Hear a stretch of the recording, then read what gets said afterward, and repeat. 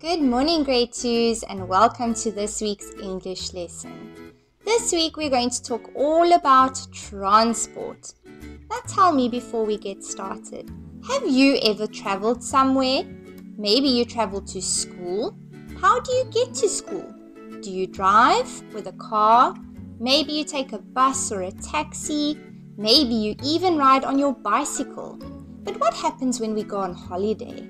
Sometimes we can take a car or a bus or a taxi if it's just in another town or in South Africa. But let's say we wanted to go to the beach in Hawaii. How would we get there? We would either have to go by boat or by airplane. But there's one other form of transport the train. Sometimes we might take a train to school or to get to another town. But could we go across the ocean with a train? No. So let's get started on our reading piece. Before we start our story, let's talk about some icky, tricky words that we might find. Submarine, a watercraft capable of operating underwater. Motorized, a vehicle or device that has a motor to operate it transportation, movement of people, animals, or goods from one place to another. Far away, meaning distant. And there you can see the girl looking to see if she can see what is far away. Vehicle, something used to transport people or goods. Let's read the story. There are so many ways to travel. The most common way to travel is probably in some type of motorized vehicle. If you are traveling with your family and you are not going far away, you could take a car. If you want to go somewhere with a lot of people, you could go in a van or bus. If you need to travel through the water, boats are another kind of transportation. We can go on small boats to travel to a close place, and big ships can take us to faraway lands submarines travel in the water also. They go way down into the water.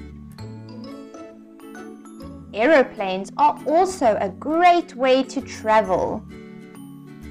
Many people choose to fly in an aeroplane if they need to go far away and want to get there quickly. An aeroplane is fun to ride in because you can see the earth from way up high.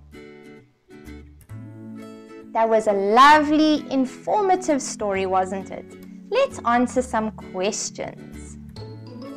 The main idea of the story is A. There are many ways to travel. B. Aeroplanes can go fast. Or C you should just stay at home. Which is it? A, B, or C? That's right, A. There are many ways to travel. What type of transport would you use to travel through the water? Would you use an aeroplane or a car? That's right, boats. Why would someone choose to travel in an aeroplane? Because they can get there quickly. Where can a big ship take us?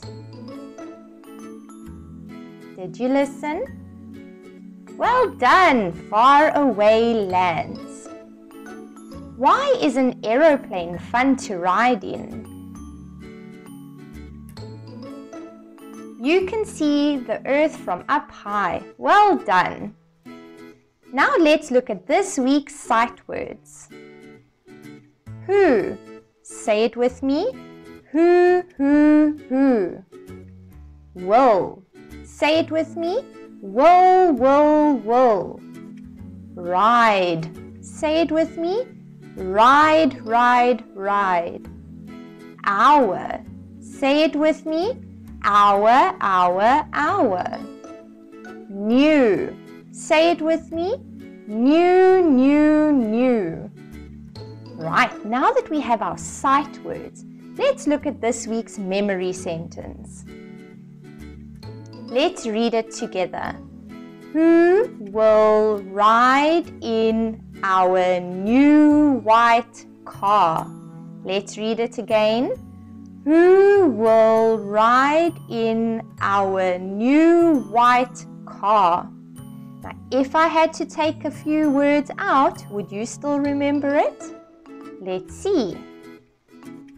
Who will ride mm, our mm, white car? Did you remember the missing words? Well done. Let's look at this week's phonics. Pay close attention. Who and what, when and where, why and how. All these words are the ones you'll use when you want an answer now. Let's see what sound we heard. The W sound. A W and a H together make a W sound. The H sound is silent. Let's look at some of the words we found. Who? What? When? Why? And where? Well done. Next, we're going to talk about tenses. Okie dokie, welcome back everybody. Um, as you can see on my board, we are going to be doing tenses and you will see that I have a combination or a mixture of sentences here on my board. I have past tense, present tense, and future tense sentences on my board, okay? So I'm going to ask you to change the first one into the past tense, the second one into the present tense, and the last one into the future tense. All right. But before we start, how do we know which word to change in the sentence? What word do I change? I change the verb, the doing word. And how on earth can I find the doing word in a sentence? I ask the question, can I? Alright, so let's do the first sentence together. Peleka shares with Luniko what tense is the sentence in? It is happening right now. It's happening today. So it is a present tense sentence. But I want to change it into a past tense sentence. So let's find our verb so that we can change it. Can I peleka? Mm -mm. Can I shares? Mm -hmm. So that's the word that I'm going to change. That is my verb, shares. So Today Peleka shares with Luniko. Yesterday Peleka shared with Luniko. So I'm just going to change shares to shared. Alright, let's do the next sentence. Stephen gave Mbalenhle a flower. Oh, Stephen, aren't you sweet? So what tense is this sentence in? It is happened it already happened because he gave Mbalenhle a flower so it is already a past tense sentence. But I want you to change it to a present tense sentence which means it's happening now. So let's find our verb in the sentence. Can I Stephen? Mm -mm. can I gave mm -hmm. so I'm going to change the word gave so if yesterday Stephen gave Mbalenhle a flower, then today Stephen gives. So I'm going to change my sentence or my word, my verb, from gave to gives.